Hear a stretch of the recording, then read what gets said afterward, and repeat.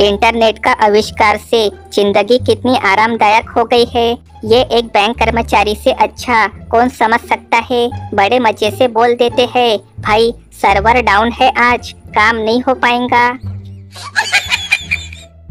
हम भारतीय खाना खाने के पहले हाथ धोना ज़रूरी नहीं समझते हैं, मगर खाने के बाद अच्छी तरह धोते हैं, ताकि मोबाइल स्क्रीन पे तेल का दाग न लग जाए।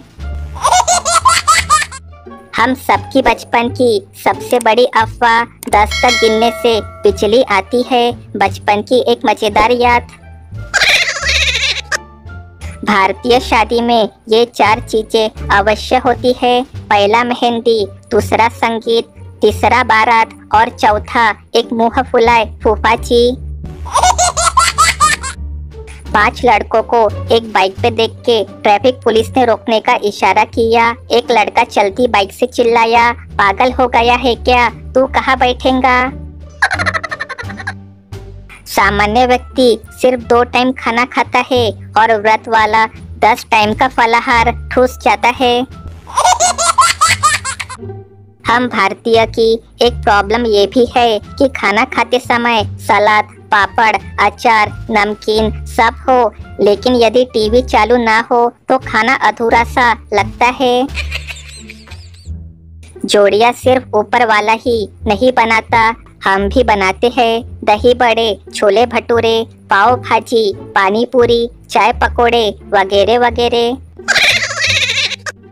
पति बोला, चाय की पत्ती कहाँ रखी है? पत्नी ऊपर मिर्च मसाले वाले खानों में जो बोर्नविटा का डिब्बा है ना, जिसमें मिर्च लिखा हुआ है, उसमें चाय की पत्ती है, पति बेहोश। गर्मी का आलम कुछ यूँ है कि कूलर में पानी भरते समय भी कूलर पूछ रहा है, भैया, पानी गर्म तो नहीं है ना? अगर आप ससुराल जा रहे हो तो अपने गाड़ी के कागजात दुरुस्त रखे, नहीं तो मिला हुआ शगुन थाने वाले फूफा की जेब में पहुँच सकता है। सभी पतियों के जनहित में जारी।